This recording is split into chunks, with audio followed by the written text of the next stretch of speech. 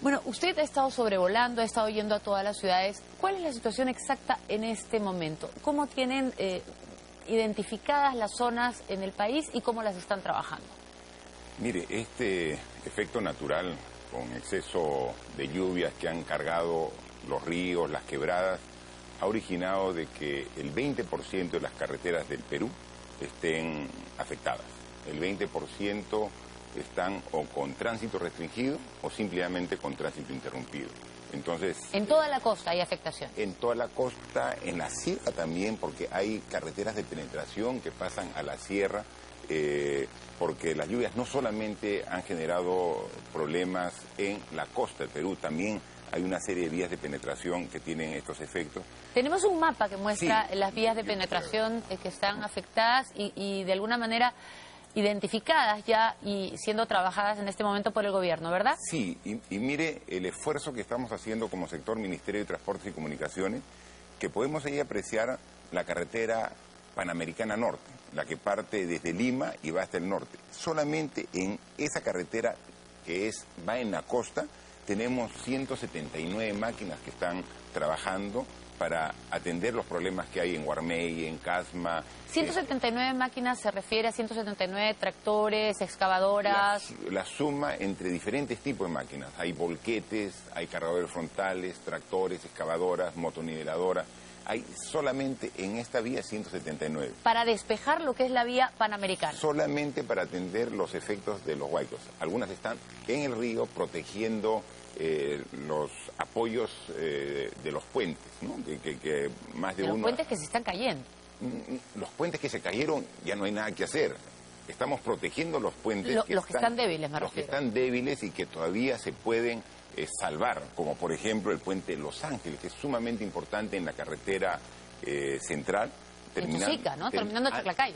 terminando Chaclacayo. Imagínense si ese puente colapsa, nos quedamos sin carretera central por varios meses, porque francamente no hay otra alternativa para esa zona. Ahora, Entonces, ese, es, ese es un puente, por ejemplo, muy importante y muy antiguo.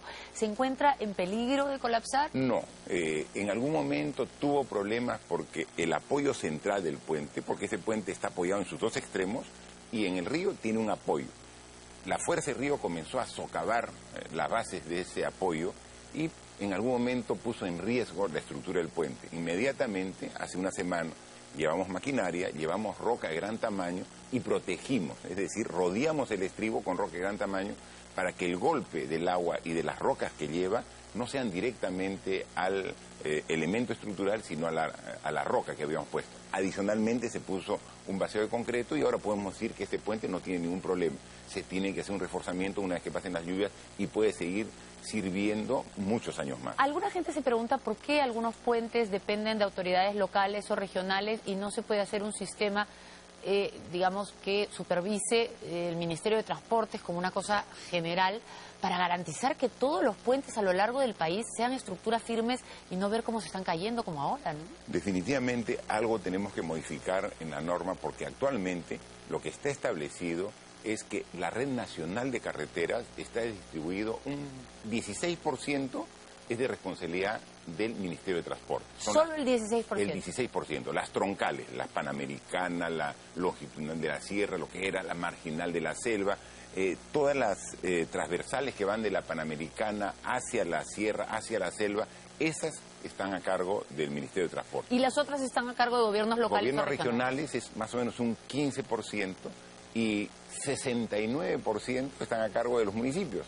Lo cual genera los problemas que estamos viendo en los reportajes que presentamos. Por ejemplo, ciudades afectadas, no ciudades, poblaciones como, como la de Casitas en Tumbes, que tienen miles de años reclamando una pista y probablemente ni siquiera saben que su pista tendrían que hacerla El ellos alcalde, mismos. El alcalde. El la alcalde que es el que está reclamando que se le haga el Ministerio de Transporte. Así es. Pero, pero eso no puede ser. Y pasemos ya al tema no solo de la emergencia, que ya nos mostró que más o menos la tienen controlada dentro de lo posible, sino al tema que preocupa a todos. ¿Cómo reconstruir el país de una forma eficiente y correcta? Esto que me acaba de contar, que por ejemplo las pistas están repartidas entre locales, regionales y nacional, ¿se va a cambiar o va a seguir igual? Mire, yo pienso que deberíamos ampliar la responsabilidad del Ministerio de, de Transporte. no necesariamente tener el 100% de la red, porque también sería una carga que no podríamos asumir para poder atender en el plazo que la demanda de los alcaldes quisiera, pero sí podríamos tener una mayor responsabilidad. Nosotros, cuando hemos asumido el gobierno, hemos determinado que la red nacional, esto, ese 15% vamos a tenerla pavimentada al 2021. Esa es una meta ambiciosa, pero, Pero- insuficiente para realmente las necesidades que tenemos. Pero tenemos un plan que no sea el 2021, es decir, un plan de las carreteras, de- del arreglo de estos caminos y, y también de la reubicación de las personas que están afectadas, pero que también afectan a los demás, porque se han puesto en los lugares donde deberían pasar los ríos, donde deberían pasar los caminos. ¿Cómo van a hacer con eso? ¿Ya ¿Cuál, tienen un plan? cuál es el problema que estamos viviendo ahora? No solamente las carreteras, no solamente los, los puentes, sino principalmente el ordenamiento territorial de las ciudades. Es que no se ha respetado la naturaleza. Se ha construido en sitios que no debe construirse. No es que el huaico ha invadido la ciudad. Lo que pasa es que la ciudad ha invadido los cauces de las quebradas. Ya, y eso, hay en este gobierno una disposición firme, una voluntad política de combatirlo, porque todos los gobiernos lo han permitido, porque de ahí sacan votos. Hay la voluntad firme del gobierno nacional. Lo que debemos es lograr un consenso entre los tres niveles de gobierno, porque según la Constitución, el que está como responsable del ordenamiento de las ciudades no es el gobierno nacional, no es como quizás muchos creen el Ministerio de Vivienda. Quien planifica y ordena las ciudades son los alcaldes. No, pero Entonces, tendría que ver, pero tendría que haber una planificación que esté por encima de eso, porque Así no le puede usted encargar a un alcalde que no tiene, el alcalde de una ciudad pequeñita, en provincias, que no tiene la información adecuada, que ni siquiera tiene el poder suficiente, movilizar a toda la gente que está mal ubicada. Pero no solamente una planificación en esas ciudades pequeñitas que tú dices.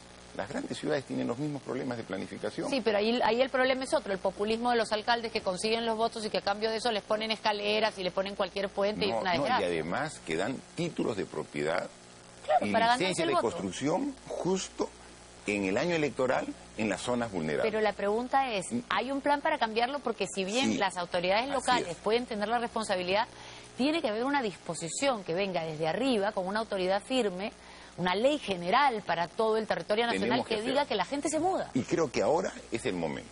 Creo que ahora, después de ver el devastador efecto que ha tenido estas lluvias intensas que han cargado las quebradas, que han cargado con volúmenes muy grandes los ríos y que hemos visto de que ciudades como por ejemplo en Piura, ahora estamos todos eh, esperando A ver si se desborda. si se desborda o no cuando llegue a los 2.000 metros cúbicos por segundo el río Piura. Entonces, ¿por qué no planificamos? ¿Por qué si sabemos que ya el 83, que el 98, que ahora el 2017 pasa los 2.000 metros cúbicos por segundo el río Piura, ¿por qué no planificamos la ciudad preveyendo que podría el río cargar hasta 3.000 metros cúbicos Pero lo que nos preguntamos- Eso se puede hacer y vamos a hacerlo. Esa, esa es la Vamos a hacerlo. Si lo van a hacer ya. Vamos a hacerlo, vamos a hacerlo y vamos ¿Quién lo a va a hacer. hacer? Porque se ha discutido mucho en los últimos días quién se iba a encargar de la reconstrucción. Se decía primero que usted era el voceado y luego el presidente ha dicho que es el señor Zavala, pero el señor Zavala dice que él va a nombrar a otra persona. Entonces, al final, ¿cómo No, va a hacer? tienen que ser las instituciones. O sea, tenemos... ¿Qué pasa ahora con la reconstrucción? Por ejemplo, tenemos cientos, miles de kilómetros de carretera que hay que reconstruir y hay que, por lo menos, 200 puentes que hay que nuevamente construir, pero construirlos bien. O sea, no para que se caigan las próximas lluvias. ¿Quién va a hacerlo eso? Ministerio de Transporte. Ministerio de Transporte. O sea, no tiene que haber una nueva institución, ¿Y las una casas? suprainstitución para que vea. Y la vivienda, la Entonces, vivienda de interés social la va a ahora- hacer el Ministerio ahora, de Vivienda. El tema, lo que tenemos es, hay responsabilidades que están claras y definidas. Carreteras, puentes, Ministerio de Transportes. O sea, tiene que asumir su responsabilidad. Y los eh, las instituciones educativas que se han afectado, ¿quién tiene que verlo? Tiene que ser el Ministerio de Educación. Claro, pero- O sea, hay, el problema es la zona urbana. Es ahí. Porque, por ejemplo, hay 30.000 viviendas que han sido afectadas. Y eso son propiedad privada. Es ahí donde se tiene que el Estado... Pero ¿cuál es el problema ahí? La pregunta es, ¿va a haber una autoridad que coordine? Lo que ha dicho Sí. el presidente es que va a nombrar a, un, a una persona para que coordine con todos, para que cada uno ejecute lo suyo. Esa persona va a ser simplemente Fernando Zavala como presidente del Consejo de Eh, Ministros. claro. Claro, pero él a su vez ha declarado que él va a nombrar a otra Sí, persona. Claro, es que tiene que haber una eh, eh, una organización que verifique que cada quien cumpla con su función. Pero esa otra persona, ¿quién va a ser? ¿Va a ser usted, por ejemplo? ¿Va a ser otro no, ministro? No, no, pero no es persona de, de- eh, o sea, el tema no es una persona, no es eh, un nombre el que se busca. Aquí es buscar el orden, buscar una planificación adecuada y buscar responsabilidad de todas las instituciones con sus autoridades. Entonces, yo creo que ahora, cuando se planifique nuevamente qué hacer en Piura, perfectamente va a estar alineado el ministro de Vivienda con el gobernador regional, con el alcalde de Piura para hacer los drenes, para hacer las Para hacer protecciones, todo lo que para se hacer tenga que todo. O sea, tenemos que hacerlo. Pero entonces Igual, lo que nos Guarney, confirma es, no se va a crear ninguna nueva institución, no se va a designar una persona fuera del aparato, del organigrama, por decirlo así, del, del, del Estado, de- del tal como gobierno, está, del claro, gobierno. del gobierno, como está. Simplemente se van Tiene a repartir las tareas lo que- entre lo que los a responsables través de los de la presidencia del Consejo de Ministros tiene que haber un ente articulador.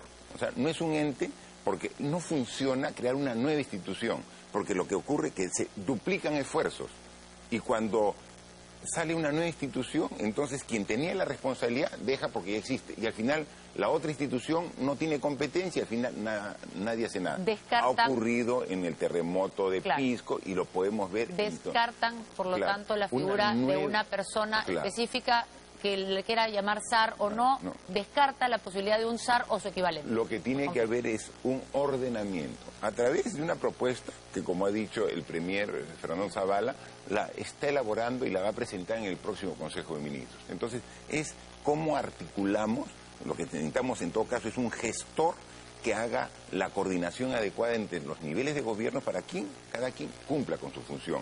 Está establecido claramente la función de los alcaldes. Lo que pasa que no se cumplen y permiten la construcción en zonas vulnerables y ahora tenemos las consecuencias. Está claramente determinado cómo se debe diseñar un puente.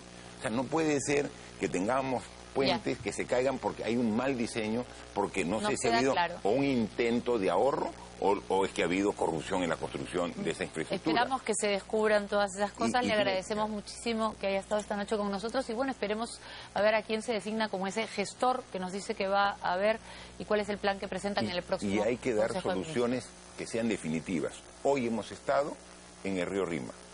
Todos los días se desborda el río Rima entre el kilómetro 43, 44, 45. Con los ingenieros, con los técnicos, hemos determinado que esos tres kilómetros, que son los más vulnerables, va a estar canalizado. Y lo vamos a hacer ya este año. Eso es muy importante. Va a canalizar este año tres kilómetros del río. Rima. kilómetros. Y ahí vamos a demostrar cómo, cuánto es el caudal del río Rima que ya genera eh, pérdidas en la infraestructura, todo. Decimos- Cuando llega a 100 metros cúbicos por segundo. Vamos a hacer una canalización para que pueda almacenar 250 metros cúbicos por segundo, más del doble de su máximo. Entonces, eso tenemos que hacer. Y es toda la ciudad de. Lima debería estar canalizado. Como tener una ciudad que no lo haga eso, realmente no lo comprendemos, pero hay que trabajar de manera responsable con infraestructuras de largo plazo, que es lo que queremos todos. Muchas gracias.